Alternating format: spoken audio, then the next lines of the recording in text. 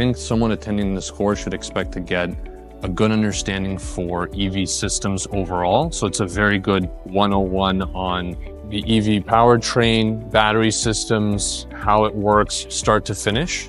I think it would be great for someone that's in the automotive industry but doesn't know a lot about EV cars. I think it would also be great for someone that's looking to get into EV conversions or get into uh, EV performance vehicles.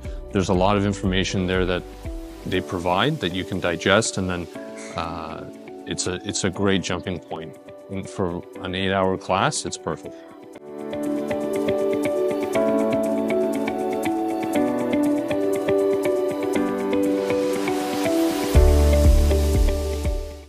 I think the world of electric vehicles um, and building more towards um, electrical performance versus mechanical performance is a very new field. So I think for the average person, it would really be great to understand the basics and build up on that foundation.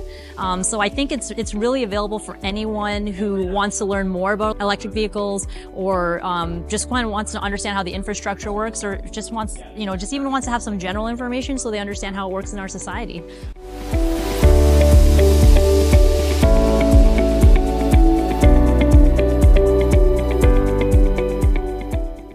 Scalar guys are super cool. Um, you know, we're always talking about, you know, working towards climate change and, you know, being green and being energy, and there's all these government policies. Sometimes it's nice to just have fun and talk about motorsport and make things like electric vehicles really fun because you can go really fast.